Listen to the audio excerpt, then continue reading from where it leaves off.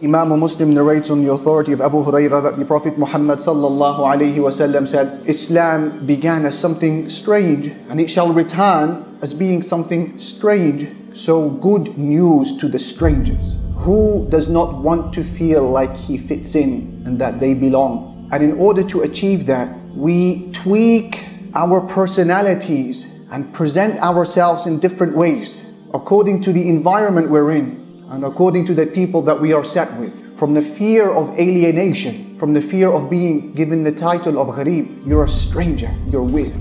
But subhanAllah, the Prophet ﷺ emphasizes that there is one thing that you should hold on to through it all, and that is your deen. You don't lose your principles when everybody else loses their principles. If everyone else in the world becomes dishonest, you don't lose your honesty. If everyone else in the world cheats, you don't lose your integrity. If everyone else in the world slanders, then you keep your tongue safe from that. If people harm each other as commonplace and as norm, you don't harm anyone. And instead, you make it a point to say that I will be from the one who is oppressed, not from the one who oppresses. If oppression becomes that which overtakes a society altogether to hold on to what is so precious to you your faith, your iman, and to make it so independent of anything else that's happening around you whether it is changing circumstances or changing trends. And what is very interesting in this regard is that the challenge becomes for the believer in these types of times to simply hold on. And that holding on in and of itself is extremely praiseworthy. When the Prophet ﷺ mentions in the famous narration that, or what comes after you, are days that require great patience, and that patience in those days is like holding on to a burning hot coal. And the Prophet ﷺ says, whoever is going to live, you're going to see a lot of difference. You're going to see a lot of dissension. You're going to see a lot of dispute. When that time comes, hold on to my way and hold on to the way of the rightly guided khulafa. And the Prophet ﷺ said, literally cling on to it like a person that is holding something with their molar teeth. So in one narration, you got a burning hot coal in your hand, which is like, it feels so much more relaxing to just let it go. In another narration, the Prophet ﷺ is saying, look, hold on to it with your back teeth, like someone's trying to pull it away from you. Hold on to your faith.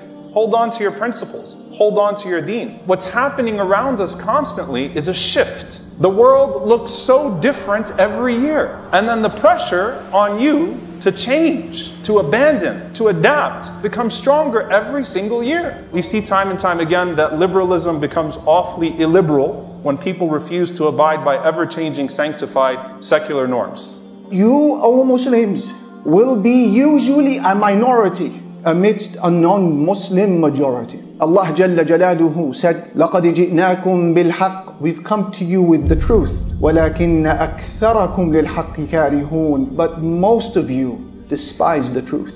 Most. Allah Jalla Jalaluhu said, إِلَّا الَّذِينَ آمَنُوا وَعَمِلُوا الصَّالِحَاتِ وَقَلِيلٌ مَا هُمْ Except those who believe and they do good deeds, and they are few in number. Allah said, فَأَبَى أَكْثَرُ النَّاسِ إِلَّا كُفُورًا Most of humanity accept nothing but disbelief. Most. Allah said, وَقَلِيلٌ مِنْ عِبَادِيَ الشَّكُورِ Few of my servants are those who are grateful. Every time the Quran speaks of a majority, it dispraises it. Every time the Quran speaks of a minority, it praises it. A stranger amidst people who don't share your religion, and it is stressful Many times when an imam or scholar or a student of knowledge or an activist speaks about the prohibition of buying and selling drugs or alcohol or using interest or serving shisha in your store or something to that effect, in many instances, those who protest and object are the Muslims themselves. Many times when you speak about the ideal hijab, intended by Allah for our mothers, our sisters, our daughters. Those who are first to object in some instances are the Muslims themselves. When you speak about the role of motherhood and being a homemaker as being a great profession and raise it above all, in many instances, those who object are the Muslims themselves. So this brings about a type of ghurba in the heart of the Muslim. When he sees his family, he sees his brethren speaking against him, whilst all he or she are trying to do is be a Muslim upon the prophetic path. They feel strange when they look around and they see their fellow Muslim brothers and sisters with their greatest aspirations in life to receive the reassuring nod of acknowledgement from society, from parliament, from friends, from social constructs. They feel strange because all they want is the acknowledgement of the King, Allah the Sovereign, and the prophetic nod of acknowledgement on the Day of Judgment. They feel strange when they see their Muslim brothers and sisters jumping through every hoop and wearing every mask to fit in, to not be labeled as a stranger. But for them, they hold on to their principles and values, even if it rocks a few boats along the way. And that is because society is always drumming into their heads and saying to them, You can't fit where you don't belong. So they've given up trying to fit in at the expense of their principles and they have chosen to not compromise. They have chosen to inhabit planet Earth on their own terms, on their own conditions, as practicing Muslims who will not compromise. You're actually enduring hate just because you're doing the same thing that your parents did and that your grandparents did, and you're worshiping with a religion and abiding by an instruction as 1400 years old. And you didn't get the memo on Twitter that things have changed yet. And you're trying to maintain and hold on, and that takes a level of endurance. And sometimes that comes with great sacrifice, and sometimes that comes with great abuse. Muhammad Ali, of course, rahimahullah ta'ala, one of the most celebrated people in American history and certainly the most celebrated American Muslim in history. When he refuses to be inducted into the draft, he was the most hated man in the country.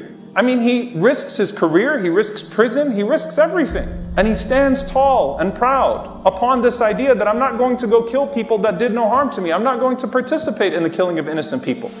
I will not go 10,000 miles from here to help murder and kill another poor people simply to continue the domination of white slave masters over the darker people of the earth. And shoot them for what? They never called me nigger. They never lynched me. They never put no dogs on me. They never robbed me of my nationality, raped and killed my mother and father. Well, I'm going to shoot them for what? How am I going to shoot them? Them little poor little black people, little babies and children women. How can I shoot them? Poor people. just take me to jail.